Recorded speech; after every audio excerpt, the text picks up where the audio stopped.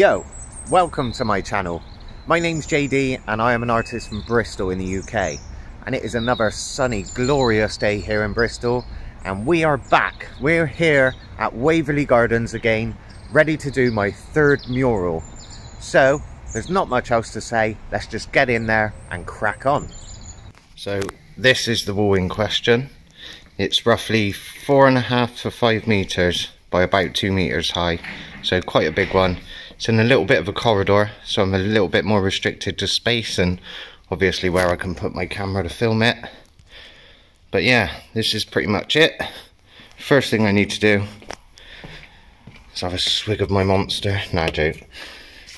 Let's get prepping. Just gonna mask up all the top, all the bottom, prep the wall, ready to slap some paint on. Let's go.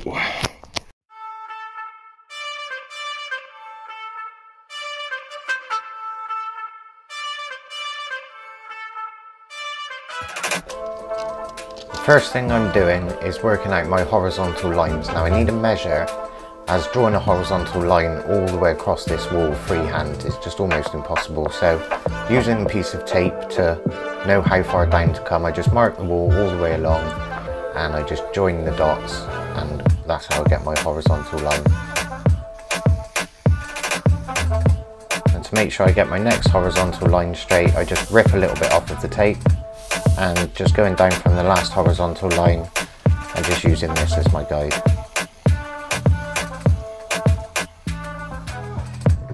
And then at times I'm also just using my initiative and using this comb to get the bottom horizontal line so it's the same distance from the floor. With my horizontal lines done, I'm now ready for some paint. Now this is just an emulsion paint, the same sort of paint that you decorate your house with. And first of all, I'm just laying down a blue for the sky.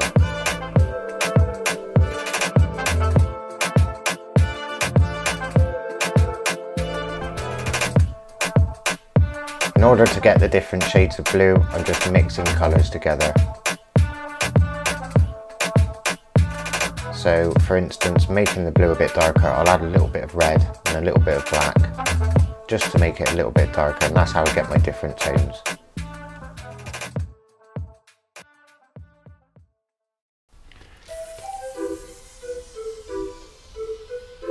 Now what I am doing here is I'm just putting a small amount of paint on the brush and the brush is slightly fanned out by pushing it down and I'm just brushing it against the wall to get some texture of the top of this water.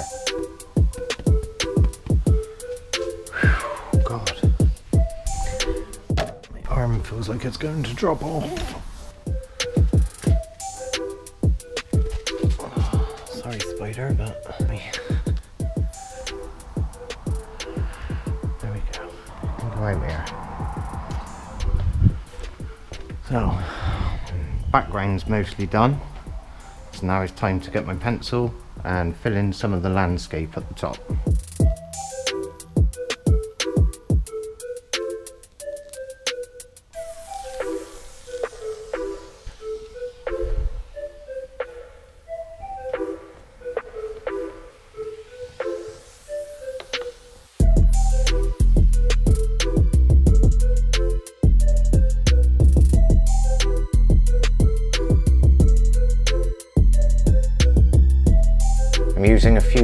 Greens to get the different depths in the background of the landscape.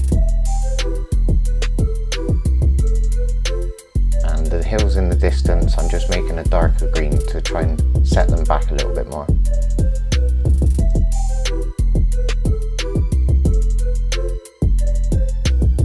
Now this bit took a lifetime. These are supposed to be bubbles. If you imagine this water is pushed up against glass, this is just the edge of the glass. And I was trying to mimic bubbles. And to work my way all the way along the five meter wall did take quite a while, I must say.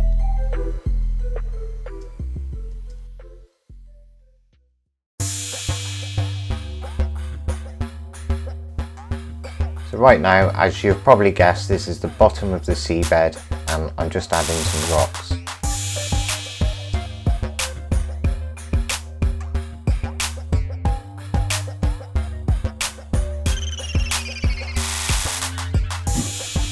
Basics of the rocks are done. I'm just adding some white to the same grey to make a highlight and give these rocks some highlights and textures.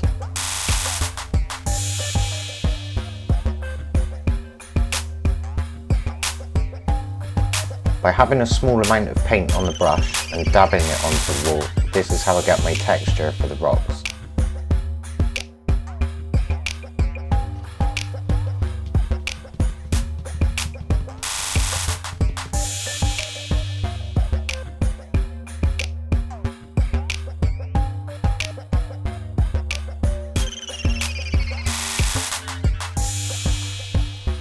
I'm doing some of the sea plants and I have to say these were quite fun to do at the beginning.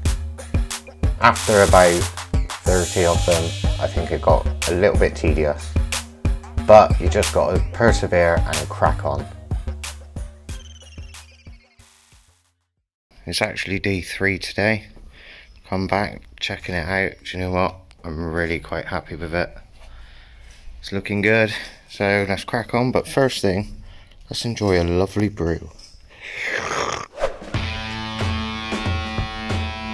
For this piece, I typically add around three tones to most things.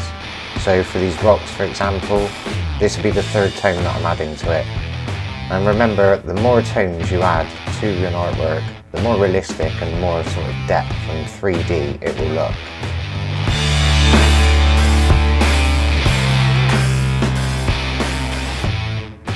Now it's time to start adding the sea creatures.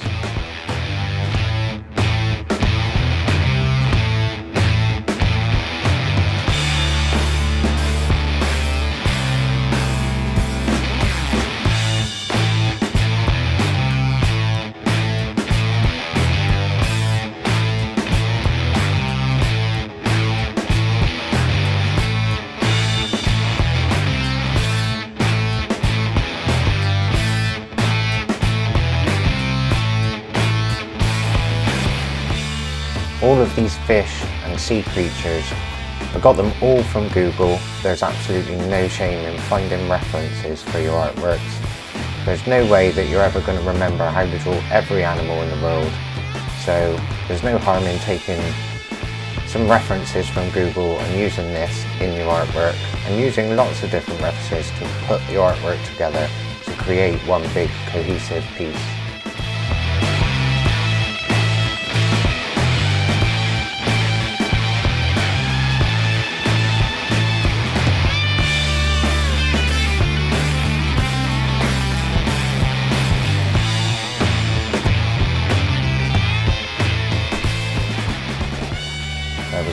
Thing that I forgot to add to this piece when designing, was a crab.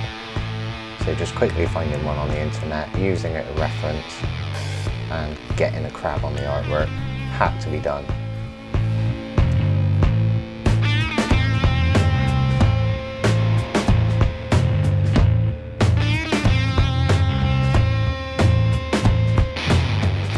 The goal for this mural is basically to just brighten the place up with some colours. So it's not necessarily the sea in the UK, as a lot of the fish are actually tropical, but the tropical fish have some really bright, vibrant colours, so this is why I chose it. And it's kind of just leaving it up to people's imagination. This could be anywhere you want it to, any landscape. The idea is just to get a nice, colourful, vibrant picture on the wall.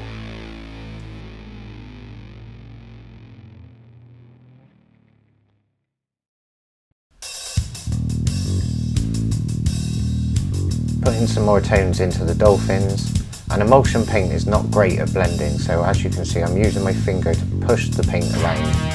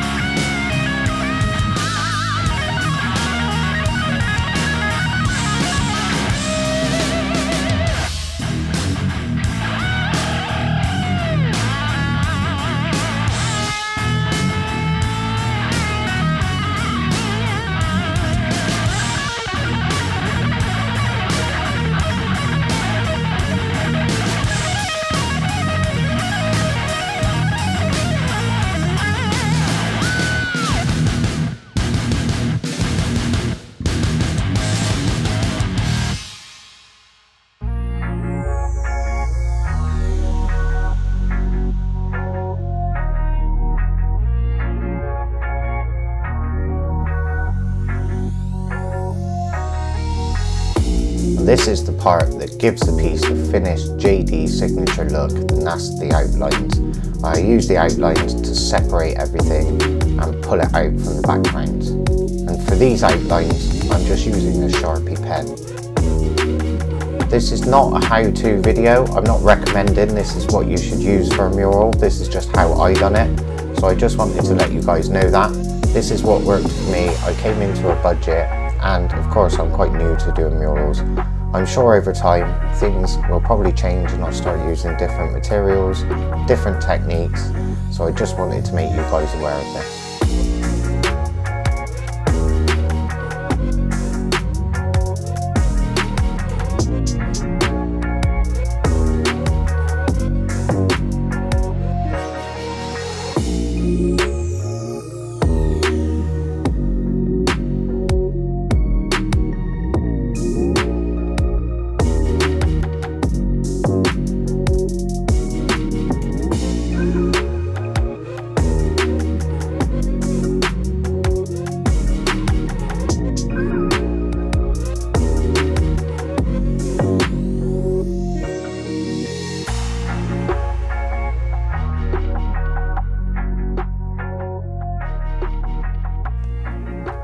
So I have saved the best bit for last.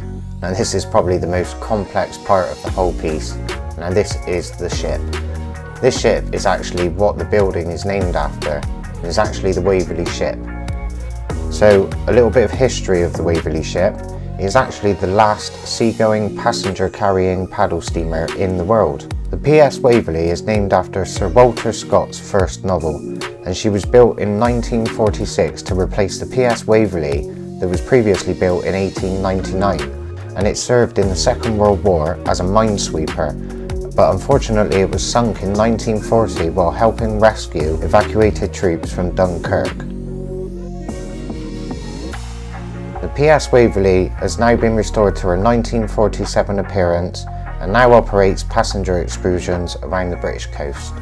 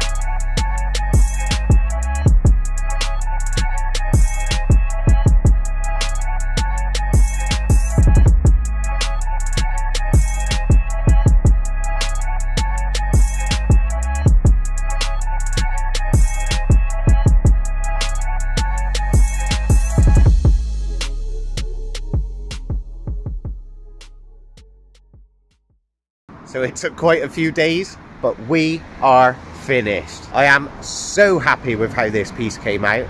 Everybody absolutely loves it. They say it almost feels like you're walking through underwater when you go past it, which is pretty cool. And the ship was really detailed. I was super happy with how that came out, although it did take me two days nearly to do just the ship. Anyway, we are all finished. It'd be wicked if you guys let me know in the comments what you think about this piece and if you liked it, it'd be sick if you could smash that thumbs up button, give it a like, and it'd be wicked if you could subscribe too. And as always, if you hit that little bell notification icon, you'll be the first person to know when my next video drops. So there's nothing really else to say. Let's show you the final piece.